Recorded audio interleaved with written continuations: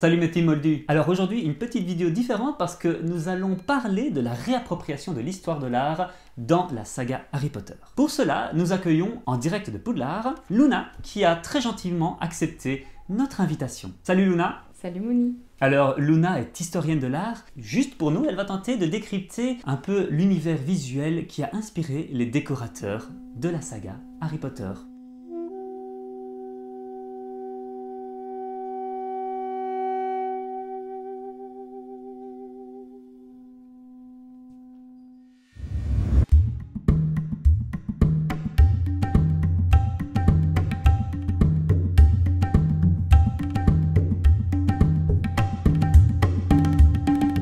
Alors Luna, de quelle œuvre vas-tu nous parler aujourd'hui? Pour commencer, j'aimerais bien aller faire un petit tour dans la salle commune de Gryffondor, puisque là euh, figure une tapisserie sur laquelle on voit une dame et une licorne, qui est une euh, tapisserie sur laquelle tu as déjà fait une petite observation dans une de tes vidéos précédentes. Super, peux-tu nous brosser un peu le portrait de cette fameuse tapisserie? Dans cette tapisserie, on voit donc une jeune femme qui pose, euh, elle est assez richement vêtue, euh, elle porte des habits de velours. Parfois, elle est accompagnée d'une servante et d'une horde d'animaux. Euh, et les deux principaux sont le lion à sa droite et la licorne à sa gauche. Le tout dans six scènes différenciées. Elle est conservée au musée médiéval de Cluny à Paris et selon son motif, ce motif caractéristique du millefeuille, qui est donc un motif floral qui recouvre l'entièreté de la surface en fond, on peut déduire qu'elle provient probablement des Pays-Bas ou de France. On est donc bien loin de l'Écosse en réalité.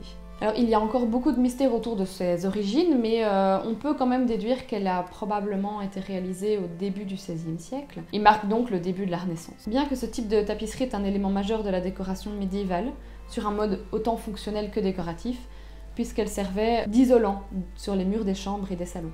Et en quoi ce polyptyque est-il symbolique? Tu sais que j'adore les énigmes et les secrets cachés dans les œuvres.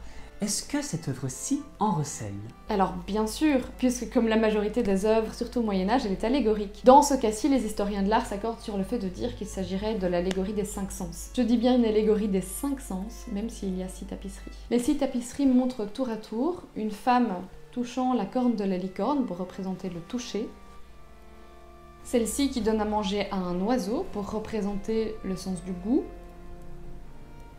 Ensuite, cette même femme fabriquant une couronne de fleurs pour aller avec l'odorat. Pour ensuite jouer sur un petit orgue pour représenter le sens de l'ouïe. Et finalement, elle se contemple dans un miroir pour symboliser la vue. le concept des cinq sens est très débattu au Moyen Âge, il est assez important, il a d'ailleurs une hiérarchie théologique. La vue est le sens le plus élevé, et avec Louis, il est un des sens les plus spirituels. Ensuite vient l'odorat. Et pour finir, le goût et le toucher, qui sont les sens les plus matériels, et donc les moins nobles. Le toucher et le goût sont les deux premiers sens de la suite de la tapisserie. Et finalement, sur la dernière tapisserie, nous sommes euh, au niveau le plus élevé du monde spirituel, euh, celui de l'esprit, qui serait le sixième sens. Et ce sixième sens, l'esprit qui n'est donc pas tangible, est représenté par l'abandon des bijoux par la dame. En abandonnant ainsi ses bijoux, donc c'est bien matériel, elle affirme donc son premier désir, celui d'une élévation spirituelle. Sur cette sixième euh, tapisserie d'ailleurs apparaissent des mots, à mon seul désir. Ainsi il peut être interprété comme la mise en image d'une volonté de quête spirituelle, ou soutenu évidemment par la chasteté de la licorne et la bravoure du lion. Mais malgré l'avancement de cette interprétation, la Dame à la licorne recèle encore beaucoup de mystères, notamment sur ses origines. En effet, on voit qu'elle présente des armoiries qui seraient probablement celles d'une famille lyonnaise. Or, euh, le travail serait plutôt celui d'un tisserand flamand. Il y a donc des doutes sur qui est son commanditaire. On voit donc sur cette tapisserie que la dame semble vouloir refuser la superficialité, représentée par ses bijoux. C'est une manière pour elle de se dévoiler, elle-même, au monde, d'aller à la rencontre de son fort intérieur, de montrer qui elle est vraiment, sans filtre. Alors tout ça c'est bien beau, hein, ça parle de développement personnel, etc. Mais euh, moi je pense aussi que cette œuvre à la structure ésotérique fait pas mal référence à la symbolique potérienne. Tu n'es pas d'accord, Moni alors je le pense en effet, d'ailleurs la citation à mon seul désir peut faire référence, il me semble, au miroir du Rized. D'ailleurs celui-ci ne montre que son désir le plus profond, qui d'ailleurs est sans superficialité. Contrairement à Ron, qui lui se voit champion de la coupe de Quidditch et tout le tralala. Mais surtout, la tapisserie met en scène une licorne et un lion. Or, le lion, bah, il me semble quand même qu'on le voit assez souvent dans l'emblème de Gryffondor. Ce félin incarne les valeurs de cette maison, qui sont la paix, la tolérance, mais aussi le courage et la loyauté.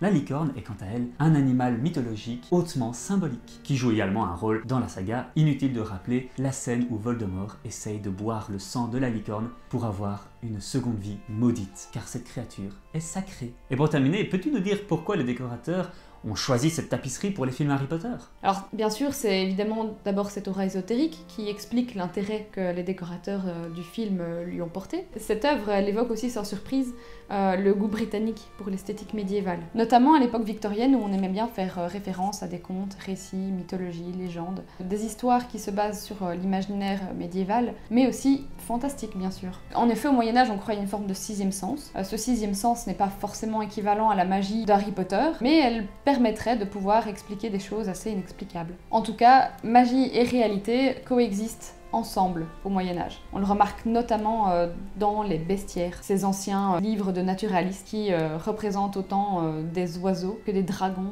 ou autres animaux mythologiques. C'est ainsi que sur cette tapisserie, on a cette coexistence d'une licorne et d'un lion, donc d'un animal imaginaire et d'un animal complètement réel. De plus, le Moyen Âge avait pour dessin de faire de l'art fonctionnel. Les œuvres avaient pour fonction d'être morales. Donc ça, c'est quelque chose qui est commun entre le Moyen Âge et aussi la vision ésotérique de l'initiation du petit Potter. Super, merci Luna pour ces éclaircissements. Bah euh, merci Mouni pour ton invitation. Voilà, nous avons tenté de dire. Je rappelle enfin que l'interprétation d'un symbole reste personnelle et tutti quanti. Nous vous disons à très bientôt pour un prochain épisode de l'art dans Harry Potter avec Luna. C'était Mouni et Luna dans Lumos pour un moldu.